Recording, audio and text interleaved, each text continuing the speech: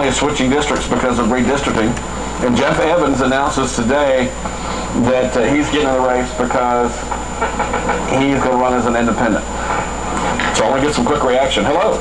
Hey Charles, how you doing? What, what do you think about all this crazy? I, I think they're just maneuvering because the, uh, the people are not going to let them because they're not bringing the results that we asked for. It's all about money and politics. It's not about the vote. Right. I bet you Roscoe Reynolds is, is chickling under his chair right now, don't you think? Well, I was amazed when Ward went up uh, to the Franklin County District. Yeah. Yeah, uh, and Jeff Evans, he, I don't know who vote he planned on getting anyway. What do you think about that? What do you mean? You, don't think he's electable? Nah. He, he probably he probably is for those people, the Tea Party people, nobody else. Let me ask you. He, um, uh, who do you think's going to win this race? Ro- Roscoe again? I think Roscoe probably will win, but uh, he shouldn't win neither. Really? Really, uh, Charles. Uh, like I said, uh, it's all got to do with politics. They're trying to maneuver, and those people who aren't able to vote don't vote. Those little few people show up. They trying to win them over with who they are, not what they stand for. You know what I mean? Mm-hmm. Uh, Ward did his best, because like I said, I was going to confront him on some issues uh, dealing with uh, his picking of the judges in his district. Right. Because that's what he does. Mm-hmm. Like I said, I, I, I honestly said, Charles, ain't none of them no good. And I'll stand up and see it. Ain't none of them no good. No, I'll tell you what, y'all. Uh, everything that I said, I'll go. I'll meet you over there on the hill. I got some paperwork today from the court. I told my wife when I leave here, I've got to go pick up some indictments for a Dewey Martin and a Michael Ray Barrett out of Franklin County. They had a case heard in uh, circuit court. Hello. Hello, you're on the air. Go ahead. Hey, Charles. Yes. I don't know what Mike talking about. Roscoe is the best we ever had and the best we'll ever get.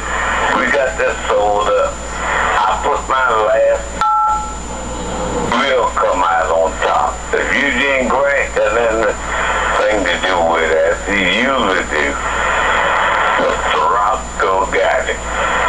Mark my word. Do, do you think that? No sweat. Do you think Evans getting in, in the race is going to make it harder for Stanley? I don't know about him, but I tell you what, when it comes to Roscoe, he talking about none of them no good. Mike better go back and check Roscoe on uh, strike record and Ward too. Don't talk about my man. All right, man. Star News. Hey, Charles. Make it quick. Yeah, tell you these if Roscoe Rams won't meet me up there and make his word right, he's a liar. Tell him string it up. All right. Folks, give us a call, 656-2255. The big news today is that Jeff Evans is not going to be in the primary, and neither is the other guy, Douglas Dunlap. He didn't get his petitions in either. So there will not be a primary in the Republican. Rebecca, you're on the air. You're on the air. Go ahead.